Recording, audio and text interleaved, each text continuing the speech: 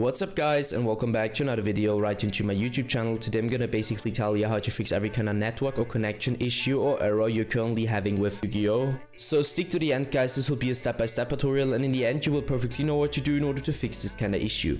Before we start right into the video, I just want you guys know or let you guys know that I would really really appreciate it if you would just leave a like, a comment or a subscription right into my YouTube channel. It would really make my day and help me out as a little YouTuber as I am. Especially subscribing would be such a big support for me guys. You would support my work on YouTube a little bit and I'm gonna really really be thankful for that and I'm gonna thank you for that. So anyways, I would just say let's get right started. So the first step I would recommend doing for everybody is gonna be to hit your Windows and your R key at the same time. This tab will pop up. I want you to type in what I already typed in, so CMD. You're gonna hit enter or OK. This tab will pop up and I want you to type in what I'm gonna type in, so ipconfig space slash flush DNS and hit enter. Once it is successfully flushed, as you can see, you should be able to end this task again. Navigate to the bottom left corner, click onto the Windows symbol, open up your settings, hit network and internet.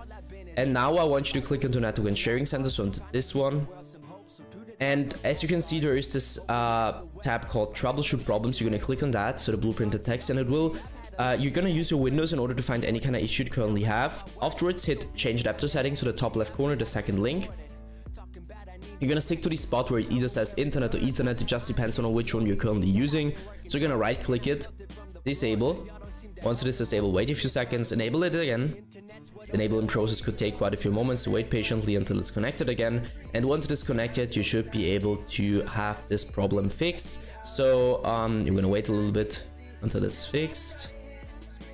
So um, now you can close these tabs and this should be it. Yeah guys, that's it for the video. I hope that I could actually help you out of this one. If it was like that, just leave a like, a comment or a subscription. I'm gonna really be thankful for that. And I'm gonna thank you for that. So anyways, I would just say have a nice day. See you at the next one and bye.